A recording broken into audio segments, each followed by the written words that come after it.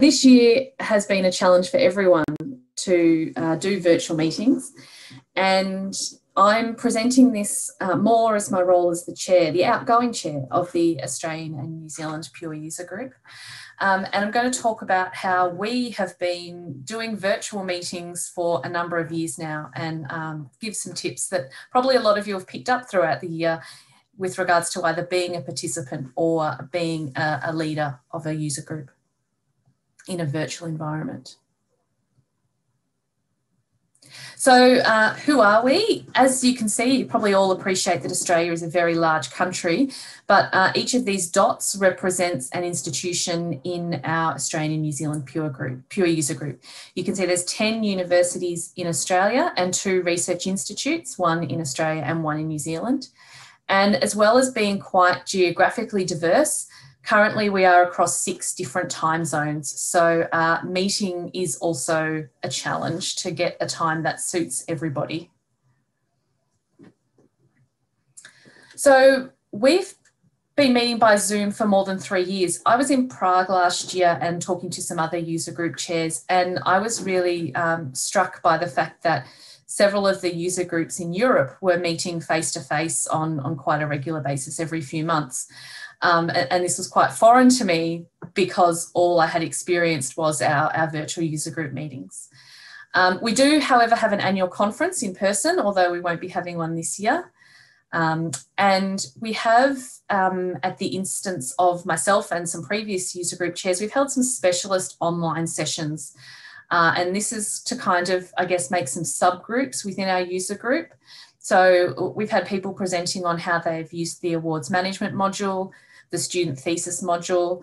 Uh, we had a really great presentation this year about how to write and manage JIRA tickets and how to put in tags and search for JIRA tickets um, to really try and make things more effective there. And also uh, we've had one on Pure testing and configurations in Pure. So we also have a Google group for questions and communication.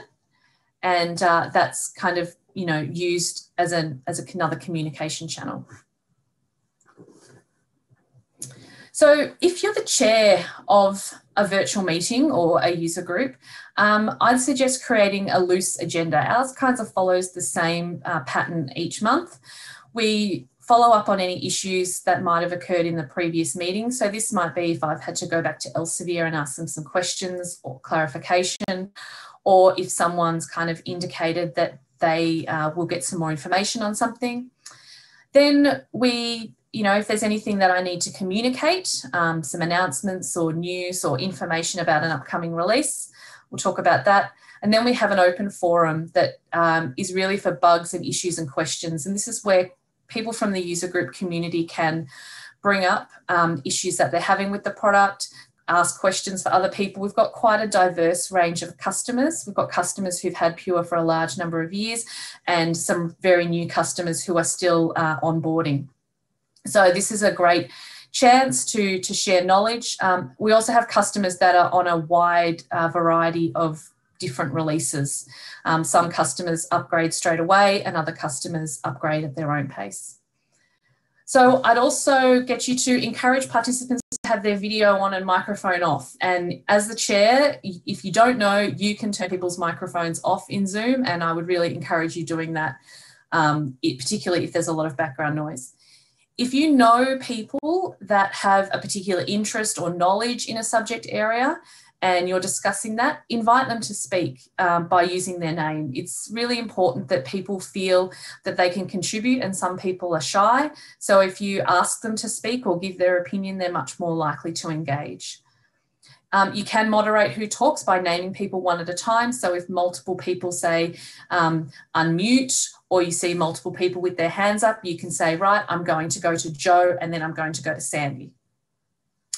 Also keep an eye on the chat functionality so that if someone perhaps uh, is in a position where they can't use their microphone but they can type, you can make the points for them. And a couple of times this year we've had to have some votes. We don't have them very often, but I found the poll functionality of Zoom really helpful um, to gauge opinion and votes. And if you are the host of the Zoom meeting, that functionality, uh, like you can see that Zoom retains the results for you. So that's really helpful. as a participant, um, so we all have to participate in these meetings, and it can be really hard for the chair if you just get a blank faces and silence, which I have had in some meetings. Australian people who are on this call uh, will know this. So if you're a participant, try to have your video on and your microphone off if you can. Use the raise hand functionality in Zoom to indicate that you wish to talk. So uh, if you click on the participants, you can get a list of participants and there's a little raise hand button there. Even if you've got your video on, just stick your hand up um, or, or unmute yourself.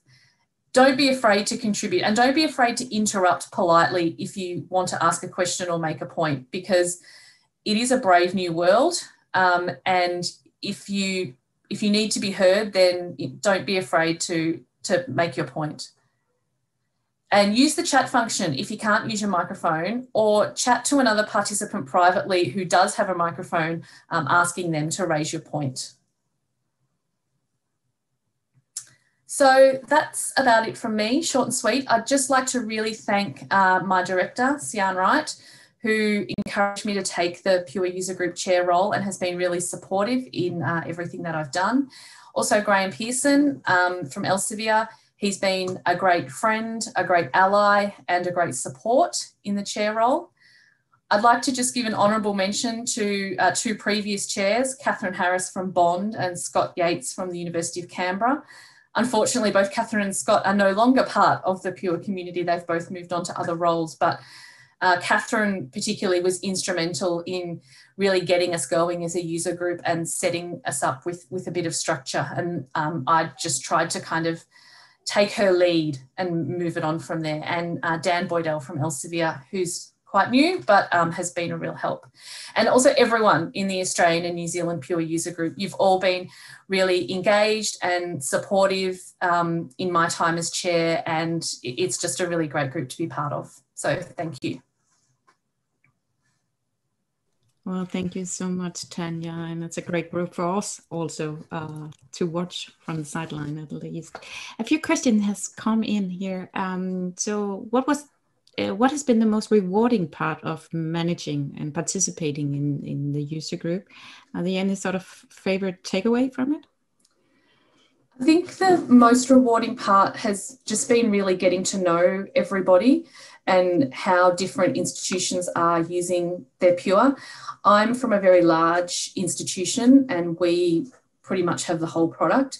Whereas in our user group, we have quite a number of smaller institutions. We have groups that only use different parts of the product. We have people who have it managed in different areas of their institution. So it's it's really been kind of getting to know people and um, getting to understand uh, the different use cases and, and the different issues that everyone has and, and trying to be a representative for that.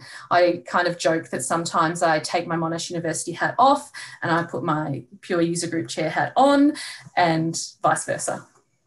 Yeah. So another question here: After the meetings, uh, do you have like a minutes of the meeting or summary made available, uh, or do you sort of assign action points during the meetings uh, for what to do? Kind of. We have a shared um, Google Doc which is which holds the agenda, and then after the meeting, I will kind of add. Um, some points to that agenda about kind of what happened with that agenda item. So, kind of under the dot point from the agenda, I'll write, you know, a, a, bit about the discussion or what was resolved, and then I'll just email that um, the link to that Google Doc to the user group to kind of remind them, you know, this is what we did in the meeting, um, and if there's action items, they're highlighted in that document. I have a um, standard recording on all my Zoom meetings. So um, all the Zoom meetings from the user group are recorded. Um, I mostly have it to kind of if I need to go back and remember what happened, but it is it is very helpful. And if any of the user group ever want a recording, then I have it available for them. Yeah. So, final question here. I know that we are not uh, allowed to talk too much about what we're not able to do right now. So, meet in person. yes. But what does the meeting in person bring to you? Uh, is there anything you're gonna lack this year? Uh, yeah, there is. Together? I think mostly we're going to lack the uh, Elsevier presence. Generally, we've been very fortunate in Australia that when we have had our annual meetings, we've had really good representation from Elsevier, which is really appreciated. Um, and also this year being very close to this event, we are going to try and have a bit more of a discussion event rather than uh, talks and presentations. And that will be difficult to manage virtually, but I'm hoping um, that it can really work. And as Patrick said earlier, it's really the socialization and the, the incidental conversations that you have that miss that are missing when you can't have an event in person. Yeah, so the coffee break talks. Mm-hmm. Yeah. Well, from Elsevier uh, side, we just I would just want to say if we can't participate face to face, we will love to do it online. So please, uh, if we can do anything, we will love to help. So thank you.